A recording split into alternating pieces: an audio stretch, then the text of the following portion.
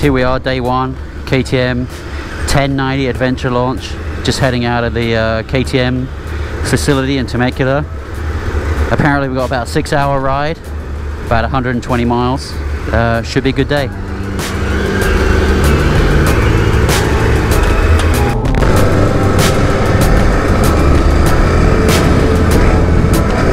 Okay, so we've left the uh, KTM offices. We're heading out into the hills behind Temecula here. A little bit dusty today. First thing I noticed about this bike is how smooth the motor is compared to the 1190 Adventure R. Really smooth, uh, tons of power everywhere.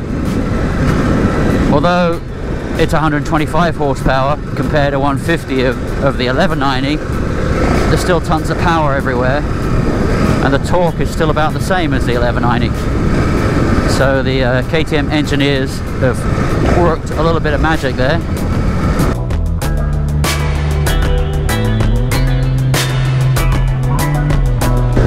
So the controls on this bike are basically the same as the 1190 Adventure R the digital menu is the same. Although they updated all that stuff for the 1290 Super Adventure R they've kept it the same on this bike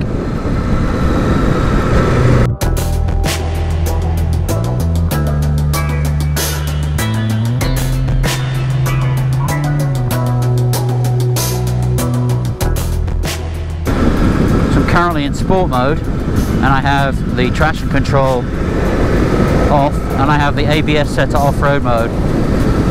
So it lets you lock up the rear wheel a bit and also stops the front wheel from locking up which is really helpful on this really loose stuff. You don't want the front wheel to knife under you in a in off-camber sandy turn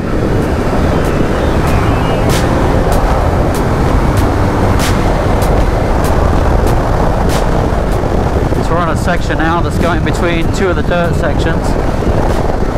You can really tell that the uh, 1090 Adventure is really comfortable on the road.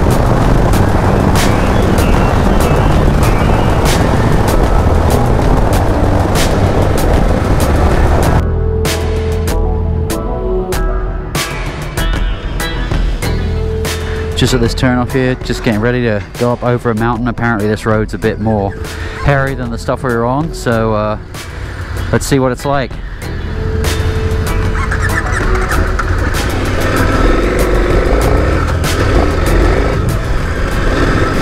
there's these little water water bars that you can drop off.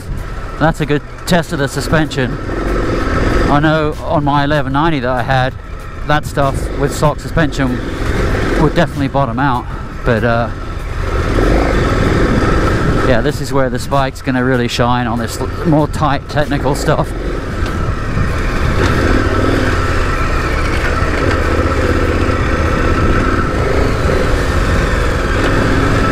So bike's really maneuverable when you're standing up.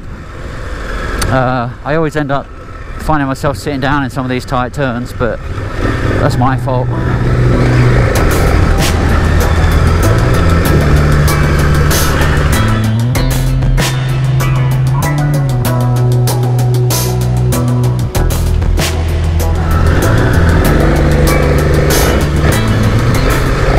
This feels like you should be riding a 500 EXC, not a 1090 adventure bike through this stuff. But that's why this bike's cool. Pretty much do every, anything. Whoa, whoa, got a bit sideways through that rut. There's another one. Not really sure where I'm going. There we go. Okay, that's rocky right here.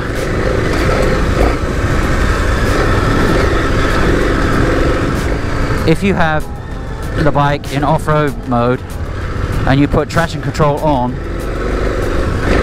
and ABS in the on position in off-road he said it's much better. So you should be able to like just ride it really smooth on the throttle and you should be able to just come out of turns and the traction control will kick in a little bit but it'll still let the back end slide just enough to point the bike like that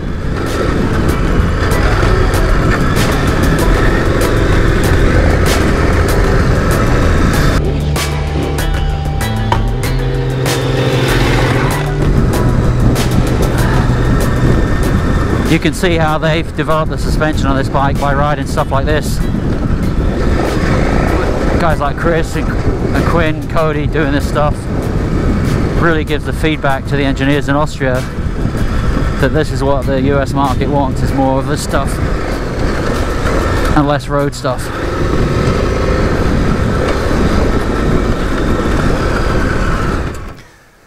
I'm Quinn Cody with KTM R&D. Uh, we're out here at the Cheney Ranch. Uh, we just finished up with about 120 miles of uh, off-road adventure riding um, with a whole group of journalists. Um, we're uh, we're here for the uh, 1090 Adventure R press launch. Um, we'll be camping out here at Cheney Ranch tonight, um, giving the guys kind of a, a real adventure type experience, um, sleeping in tents and uh, you know, just enjoying, enjoying the nature. So uh, I started with uh, KTM last year um, in July. Um, I came on in the street R&D department. The idea being they wanted to get a little bit of more of an American uh, involvement in the development of their on-road and adventure dual sport platforms. So um, they wanted to start doing some testing in the US and make some specific uh, settings for the United States because our riding here is a lot different than they than what they do with the bikes in, in Europe. So I came on to kind of head up the uh, the on-road side of the R&D. Uh, we've had motocross R&D here in the U.S. for the last 10, 15 years, and, and they've come a long way with that. And um, so now the street adventure side is, is coming on, and we're starting to do quite a bit of testing here in the States. So this year, uh, I think the biggest change in the suspension uh, on the 1090 is, is the PDS rear shock. Um, PDS is something that's been used in KTM's EXC line for many years. Um, and this is the first time that we've actually put it on a, a big adventure street bike. Um, the, what PDS means is it's a pro progressive dampening system. So uh, basically makes the suspension more progressive. So as you get closer to the bottom of the stroke, uh, the suspension firms up and it gives it a little bit more bottoming resistance and prevents that hard bottoming that you feel sometimes on these big heavy bikes.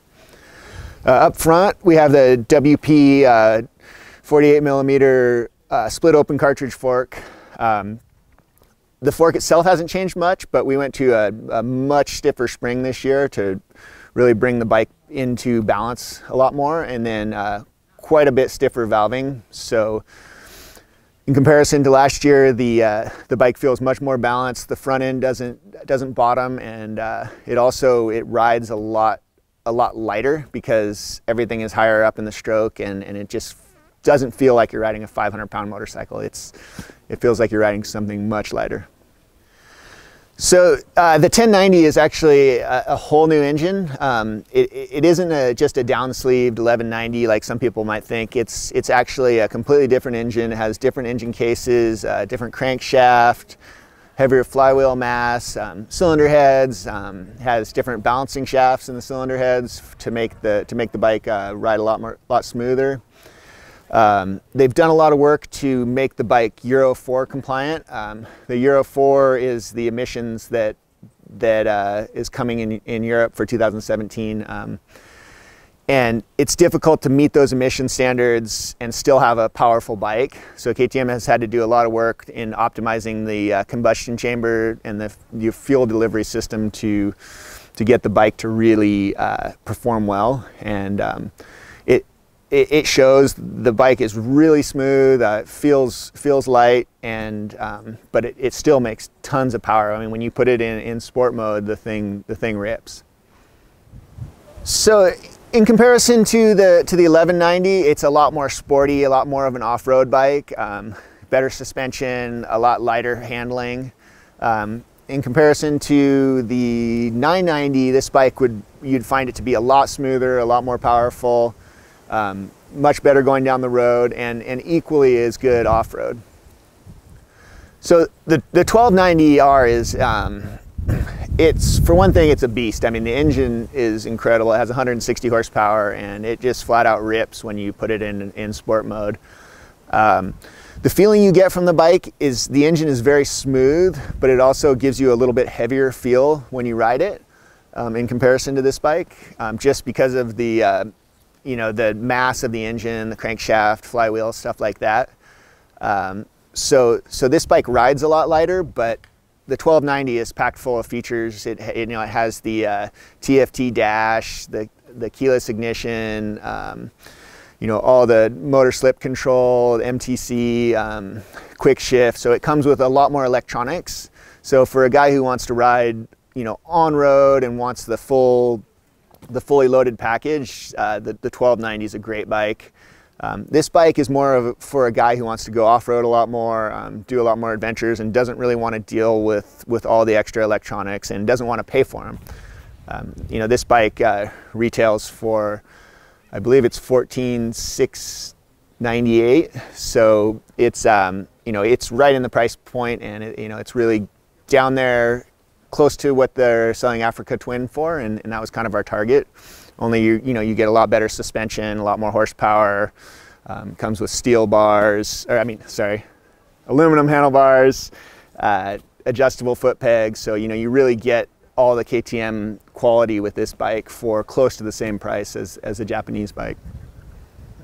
Yeah, I mean, for me, uh, you know, when I first started, uh, we were pretty far off in the, in the development of the suspension, and, and I'm really happy and pleased that that they've listened to what we have to say um, here in North America because our riding is quite a bit different than what they see in Europe. Um, so, you know, we've had a lot of the guys from R&D come over here and do rides similar to what we did today, and, and it really kind of is an eye-opener for them. And it's like, wow, you really can do stuff like that on these bikes. So I'm, I'm very pleased with, with the way the relationship is built with, with uh, Austria and, and what they've done to improve this bike.